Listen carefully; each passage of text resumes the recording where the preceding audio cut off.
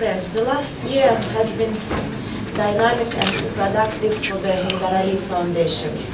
A number of large projects in cultural, education and social spheres were successfully implemented. Several days ago we celebrated the fifth anniversary of the Heydar Aliyev Foundation. We also took this opportunity to publish a book showing the wealth of activities carried out during this period. The book outlines the purposes of the foundation and contains detailed information on projects undertaken. You have all received a copy of this book today and I hope you will find it interesting to discover more about our experience and achievements as a non-governmental organization. Our humanitarian activities over the last five years in education, health and culture have brought the Heydar Foundation recognition and respect not only in Azerbaijan but also in the, and also from the international community.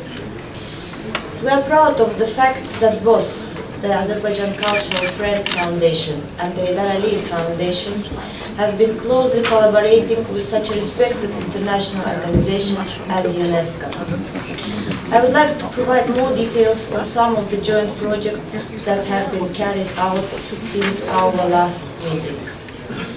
As Mr. Matsuura mentioned before, in March this year, the first International Mugham Festival, which was supported by the Heydar Aliyev Foundation, has, was held in Baku.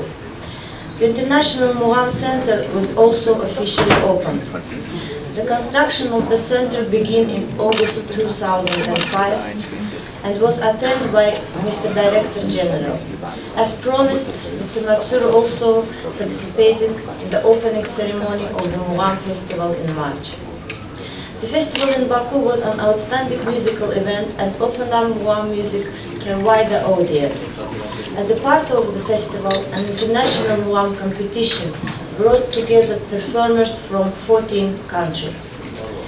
The extensive feedback from the world music community leads us to believe there is a bright future for this festival.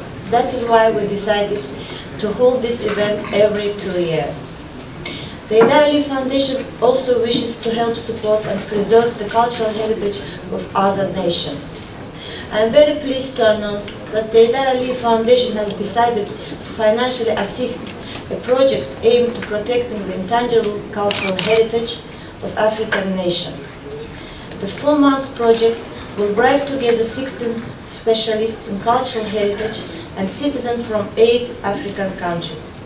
They will be trained at the School of African Heritage in Benin. The school, which was founded in 1998, is a research center and educational institution that provides training for heritage spe specialists from 26 sub-Saharan countries. Purpose of the project is to prepare competent specialists in the field of preserving and spreading the cultural possessions, possessions of African nations. It also aims to strengthen the collaboration and, and exchange of experience among African countries in this field. I am confident uh, the Heydar Aliyev Foundation will make an effective contribution, contribution to its success.